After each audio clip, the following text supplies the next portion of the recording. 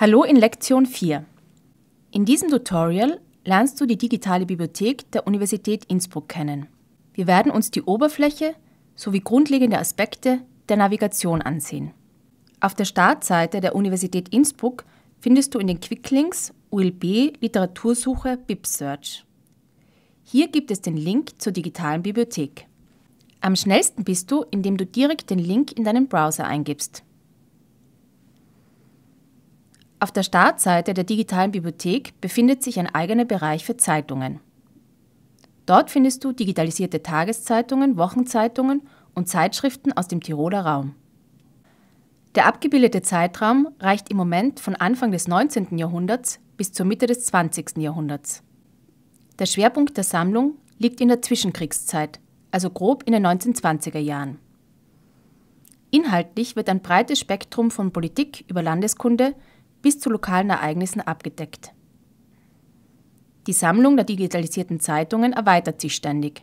Im Projekt Zeitshift werden laufend neue Zeitungen online gestellt. Möchtest du dir einen Überblick verschaffen? Dann kannst du im Bereich Zeitungen unter alle Titel oder Kalender suchen. Wenn du alle Titel auswählst, bekommst du eine alphabetische Auflistung aller verfügbaren Zeitungen.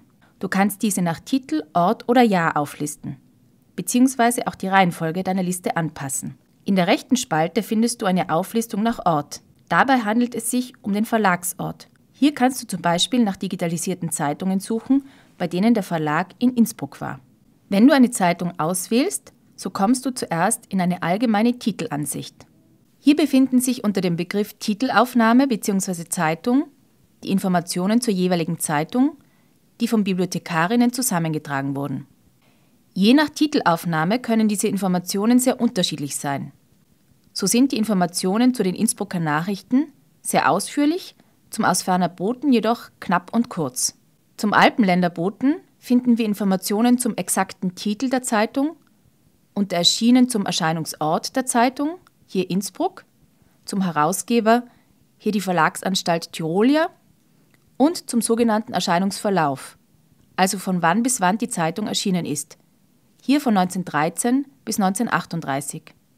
Zur Erscheinungsfrequenz, ob täglich, wöchentlich, alle zwei Wochen oder monatlich erschienen, und zur Erscheinungsweise. Ob es zum Beispiel Lücken im Erscheinungsverlauf gibt, gibt es ebenfalls Einträge. Immer enthalten ist der persistente Link zu genau dieser Zeitung, den du direkt unter URN findest. Indem du auf das Icon I klickst, öffnet sich ein weiteres Fenster und es wird dir noch einmal der URN angezeigt. Dieser permanente Link sollte für das Zitieren verwendet werden, da er immer auf diese Seite auflösen wird und damit tote Links verhindert werden. Unter Jahrgänge bekommst du einen Überblick über die verfügbaren Ausgaben der Zeitung. Klickst du auf einen Jahrgang, öffnet sich für das jeweilige Jahr die Kalenderansicht. Hier kannst du sehen, an welchen Tagen der Alpenländer Bote im Jahr 1923 erschienen ist. Eine andere Möglichkeit, um nach Zeitungen zu suchen, ist die Kalenderoption. Zuerst erhältst du eine Übersicht der Zeitungsausgaben nach Jahren aufgegliedert. Rechts in der Spalte sind alphabetisch alle Zeitungen aufgelistet, die im Moment über die Kalenderansicht verfügbar sind. In der Jahresauswahl erkennst du direkt, für welche Jahre digitalisierte Zeitungen zur Verfügung stehen.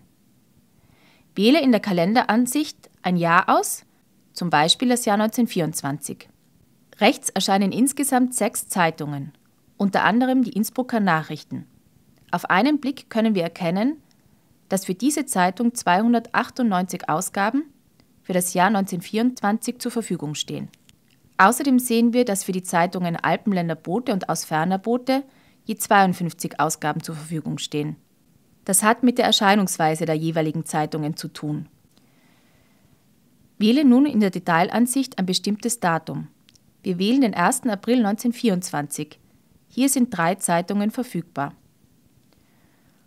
Um in der Zeitung zu blättern, aktivierst du das in Klammer angezeigte Datum. Oder klicke direkt auf den Titel der jeweiligen Zeitung. Hier kommst du auf die Titelseite der Zeitung. Du befindest dich jetzt in der Seitenansicht auf der Titelseite der einzelnen Ausgabe. Sehen wir uns genauer an, was du hier machen kannst. Oben im Bild ist eine Liste mit den Reitern Home, Titel, Übersicht und Seite eingeblendet. Der Reiter Titel zeigt dir die Titeldaten in einer Kurzversion an.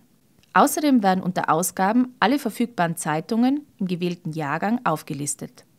Im Reiter Übersicht werden alle Seiten der Zeitung des gesamten Jahrgangs abgebildet und du kannst sie durchblättern.